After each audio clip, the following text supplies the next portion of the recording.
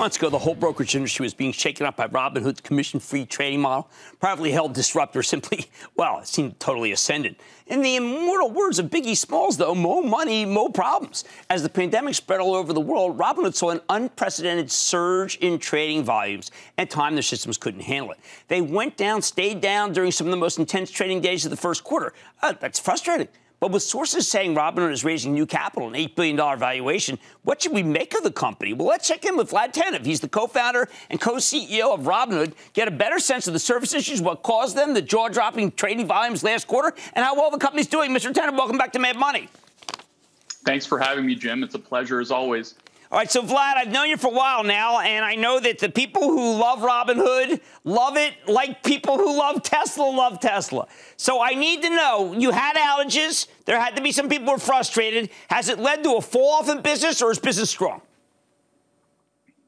Yeah, like you mentioned, you know, we have, uh, like many businesses, faced our share of challenges with the uh, coronavirus pandemic.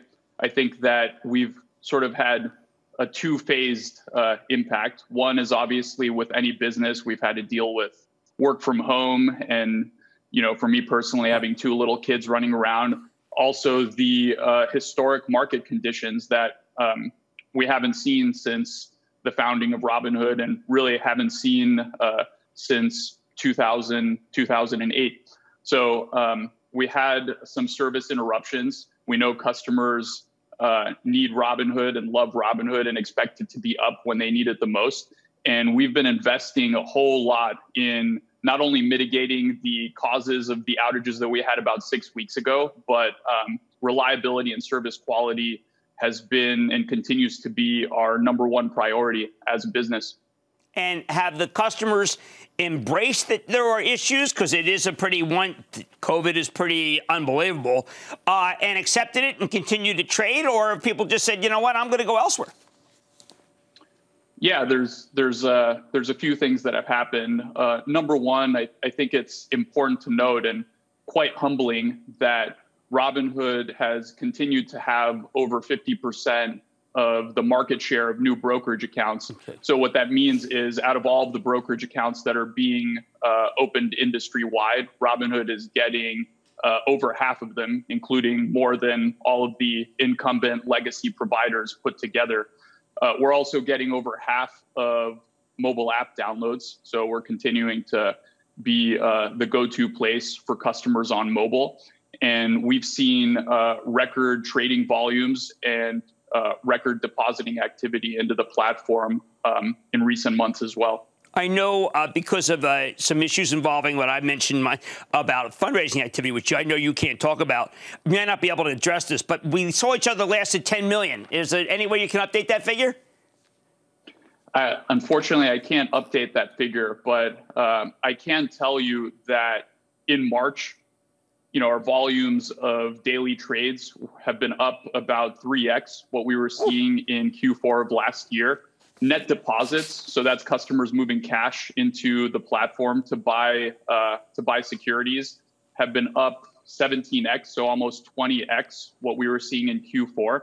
And it's not just trading volumes, but uh, it's the buying activity that has been uh, quite fascinating and interesting. Customers are bringing in cash to buy and go long securities. So um, we've seen people buying uh, both companies that are particularly well poised to take advantage of the new environment. So lots of uh, interest in video conferencing, in uh, certain pharmaceuticals that are developing um, vaccines or, or treatments for, for COVID 19.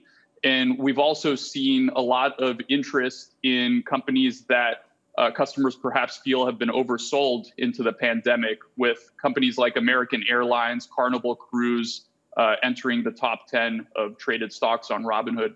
Well, that's incredible. So they are, this, I presume, again, these are younger generation investors who are looking to get into something that perhaps over a long term might end up being good in investments, which is kind of what, how the, you're supposed to invest.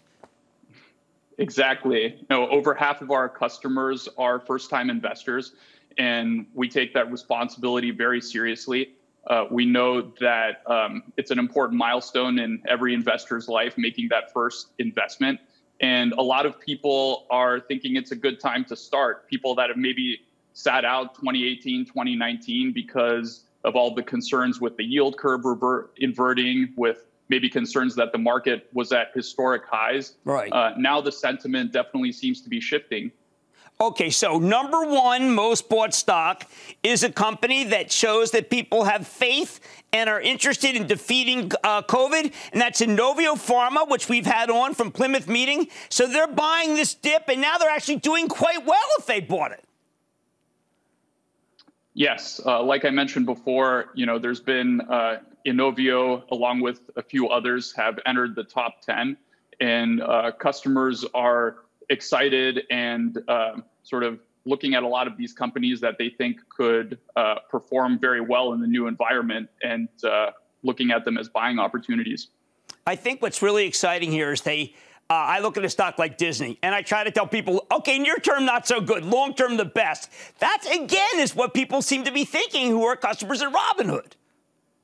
Absolutely. You know, Disney was in the top 10 of our most uh, most held stocks even before COVID. Um, we've seen really rapid increases in the number of holders, and I think customers are optimistic about the long term. You know, they're seeing all the things that the company is doing with Disney Plus, and um, they think it's well positioned to take advantage of pretty much any market environment.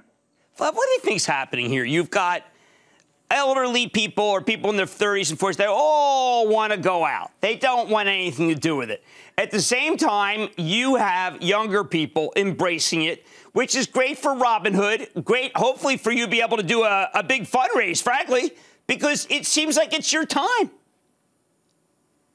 Yeah, I mean, I, like I mentioned before, we're humbled by um, the amount of customers that are signing up and opening accounts on the platform. We take that responsibility very seriously, and the team has been uh, working really, really hard to not just get out new products and features like fractional shares, which right. uh, I announced on your platform a couple months ago. Which they like, by right? The way, they like those. Yeah, they. It's it's our uh, number one most requested feature. The wait list got up to well over two million. Incredible. I know it was about two hundred fifty thousand when I when I last came on your show. So we've been really excited to roll that out and to make uh, really large investments in service quality and reliability, like I mentioned earlier. Well, I'm so glad that I know that you wanted to address those. I know that personally you were probably horrified because you do everything you can for your customers from the day I met you. And it seems like that they are sticking with you and then some. I want to thank you, Vlad Tenev, co-founder and co-CEO of Robinhood, for coming on Mad Money. Great to see you, sir. Absolutely. Great to see you as well. See, the younger people get it.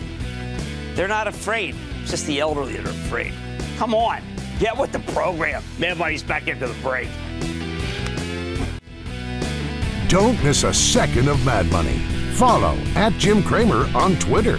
Have a question? Tweet Cramer. Hashtag mad tweets. Send Jim an email to madmoney at cnbc.com or give us a call at 1 800 743 CNBC. Miss something? Head to madmoney.cnbc.com.